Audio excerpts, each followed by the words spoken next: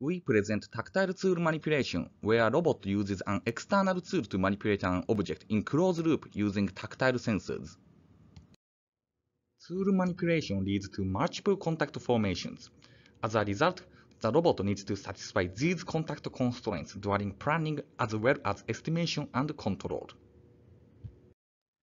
In this work, we present design of planning, estimation, and control for tool manipulation using tactile sensing. We present analysis of mechanics of tool manipulation, which provides the planner with physical constraints. Then we perform trajectory optimization to find the optimal trajectory for the object, tool, and end effector simultaneously. We use an online estimation and control framework for tool manipulation. Our proposed framework makes use of tactile sensors to estimate pose of the object in events of unexpected disturbances. We use this estimate to run MPC-based controller to control the manipulation in closed loop. We first show results of open loop controller for different object tool pairs in hardware experiments.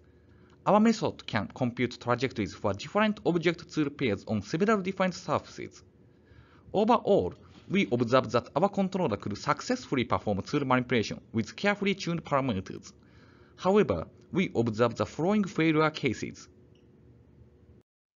At t equals 0, we observe the tool slips against the object. We also observe the tool rotates with respect to the gripper if it pushes the object too strongly.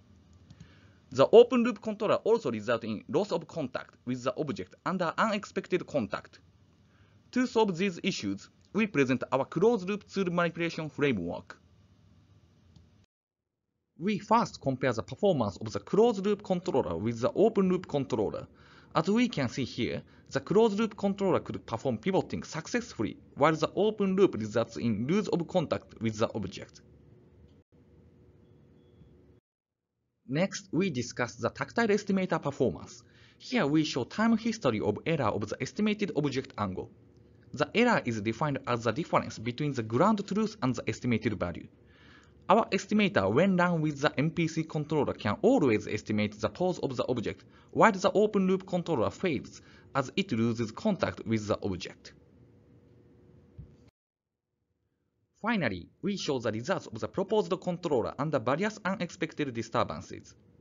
We verified that our framework could successfully perform tracking of pivoting under several different unexpected disturbances. We also verified the ability of the proposed method for regulation task. Thanks.